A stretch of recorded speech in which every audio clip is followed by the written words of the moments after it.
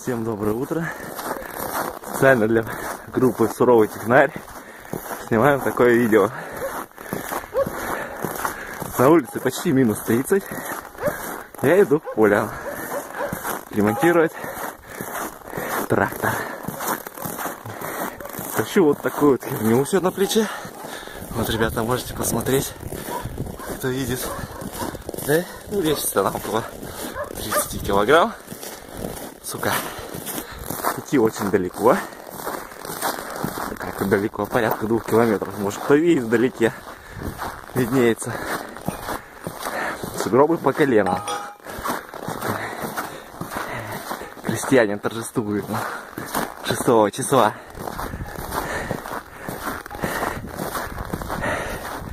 Блять. Оторвалось у нас вчера колесо. Вот. И в полевых условиях мы это будем собирать все дело. Вчера я приварил ступицу. Едем дальше. Всем спасибо. Как дойду до более трудного участка. Вам. А это самое интересное. Осталась узенькая тропиночка, в которой можно идти только вслед.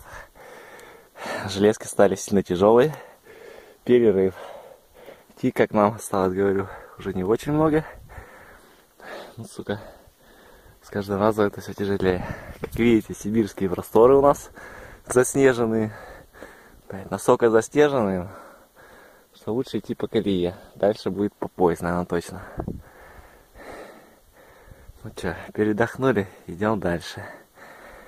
Ну вот я и дошел. Короче, упал у нас вчера на колени. Сказал, нахрен ехать не буду. В чем была причина?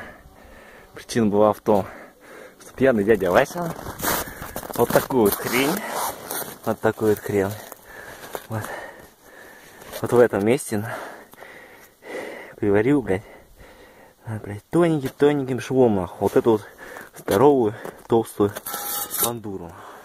Точнее, пору. Вот. И вот прикиньте, довольно-таки долго проездила она. В течение полугода. Но в итоге последствия печальные. Упала на колени. Помимо этого еще сломала крестовину. Вот она крестовина. Сломанная. Но, к счастью, была дома запасная поменял. Полочку я достал. Все сделал. Будем сейчас собирать. Вот. В домашних условиях пришлось все это обрезать эту шайбу, вываривать ее с той стороны, вываривать снаружи и обтачивать все это дело болгаркой, потому что других приспособлений дома нет. Ну, вроде получилось неплохо. Хотя можно было и получше.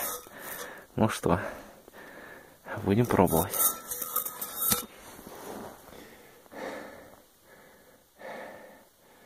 Блядь, а все виновата. Вот эта, сука, хрень. Тяжелая оказалась, снега много. Вытащить не смогли. Ну что, приступим к сборке.